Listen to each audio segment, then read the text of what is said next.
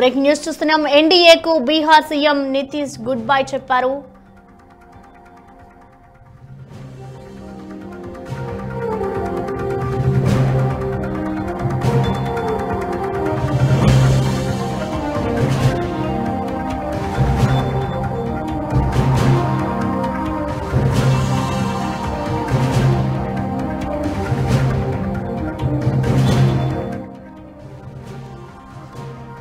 ఎన్డీఏకు Bihar CM Nitish goodbye చెప్పారు. గత మూడు వారాలుగా బీజేపీకి నితీష్ కుమార్ దూరంగా ఉన్నట్లుగా తెలుస్తోంది. నీతి ఆయోగ్ కార్యక్రమానికి కూడా గైర్ హాజరయ్యారు.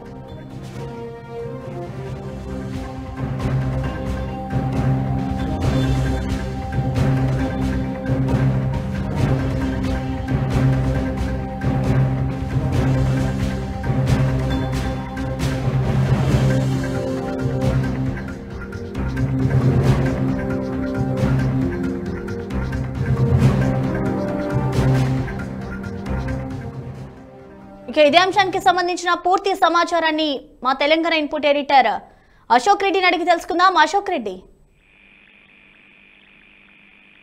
ప్రసన్న బీహార్ రాష్ట్రంలో మొత్తం ప్రభుత్వం అయితే ఆ, పతనావస్థకు చేరుకున్నట్టుగా మనం చెప్పవచ్చు. ఎందుకంటే ఇప్పుడే తాజాగా భారతీయ జనతా పార్టీ నుంచి ఎన్డీఏకు నుంచి మేము మద్దతు ఉపక్రమిస్తున్నాం వాళ్ళు ఆ పార్టీ నుంచి మేము అలయన్స్ నుంచి పక్కన చదువుతున్నామని చెప్పేసి నితీష్ కుమార్ తాజాగా ప్రకటించారు దీంతో ప్రభుత్వం కూలిపోయే అవకాశాలు ఉన్నాయి. అయితే మొత్తం మీద భారతీయ జనతా పార్టీకి సంబంధించి నేను దూరంగా జరుగుతున్నానని నితీష్ కుమార్ ప్రకటించడం ఒక సంచలనంగా మారింది. అయితే వచ్చే రాష్ట్రంలో వచ్చే ప్రభుత్వం ఏంటి అనే దానిపైన కూడా ఒక చర్చకు చర్చలకు జరుగుతున్నాయి ఇందుకు సంబంధించి ఆర్జేడీకి సంబంధించి పూర్తి స్థాయిలో అసలు నితీష్ కుమార్ సపోర్ట్ చేస్తారా లేదా అనేది విషయం కూడా ఆసక్తి ఆసక్తిగా నెలకొంది ప్రధానంగా కాంగ్రెస్ పార్టీకి పంతొమ్మిది సీట్లు ఉన్నాయి ఆర్జేడీకి ఎనిమిది సీట్లు ఉన్నాయి జేడీయూకు నితీష్ కుమార్ నలభై ఐదు సీట్లు ఉన్నాయి వామపక్షానికి సంబంధించి పదహారు సీట్లు ఉన్నాయి ఇండిపెండెంట్ కలిపి పదహారు సీట్లు ఆరు సీట్లు ఉన్నాయి.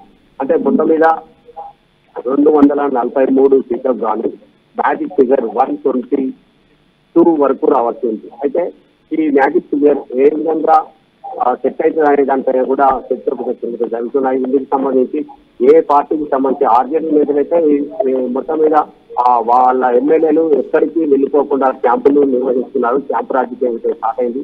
కాంగ్రెస్ పార్టీ నేతలు కూడా ఆయా పార్టీల ఎమ్మెల్యేలను ఎక్కడికక్కడ జాగ్రత్తగా చేస్తూ జాగ్రత్తగా ఉంచుకునేందుకు క్యాంపులు నిర్వహిస్తున్నారు. అలాగే ఆ, వామపక్ష పార్టీలకు సంబంధించిన వాళ్ళు కూడా ఈ విధంగా ఉన్నారు.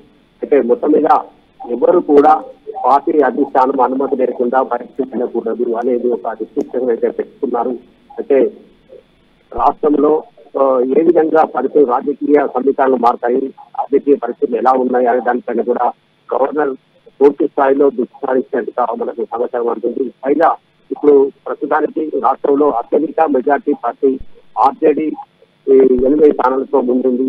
ఒకవేళ ఏదైనా అంటే ప్రభుత్వ రాష్ట్రంలో ఏదైనా రాష్ట్రంలో ప్రభుత్వం ఈ రకంగా జిల్లా- అంటే ఒకవేళ ప్రభుత్వాన్ని ఫలం లేకుండా ఉపక్రమిస్తున్నట్లయితే ప్రభుత్వాన్ని రద్దు రద్దు చేస్తున్నట్లయితే మళ్ళీ ఎన్నికలు వస్తాయి. ఒకవేళ రద్దు లేకుండా డైరెక్ట్ ఎన్డీఏను నుంచి వైద్యం వల్ల బీజేపీ నేతలంతా ఆయనకు మద్దతు ఉపకరిస్తే ఈ ప్రభుత్వం పడిపోతుంది.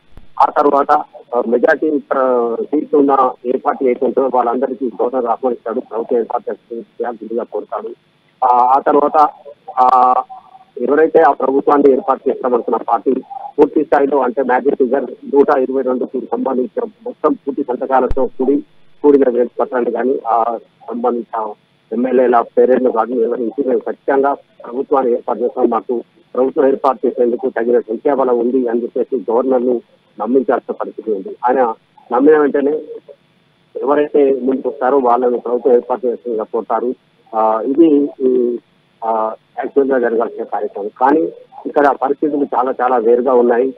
ఆర్జేడీ అంటే జేడీ పడదు జేడీ అంటే ఆర్జేడీ పడదు వీళ్ళిద్దరు ఏ విధంగా ఒకటేసారి అనేది కూడా ఒక చర్చ అయితే జరుగుతూ ఉంది.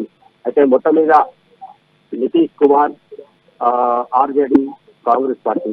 ఈ మూడు పార్టీలు కలిసి ఎట్లాగైనా రాష్ట్రంలో భారతీయ జనతా పార్టీని పక్కకు పెట్టాలి అనే దానిపైన ఒక ప్రణాళికతో ముందుకు సాగుతున్నట్టుగా మనకు సమాచారం అవుతుంది. అంటే నితీష్ కుమార్ లోన ఈ- పార్టీ అంటే కాంగ్రెస్ పార్టీ కావచ్చు ఇటు ఆర్జేడీకి సంబంధించిన పార్టీ నేతలతో ఎప్పటికప్పుడు సంప్రదింపులు జరిపిన తర్వాతే ఒక ఒప్పందం కుదుర్చుకున్న తర్వాతే ఎన్నికలు మనకు సమాచారం అందుతుంది.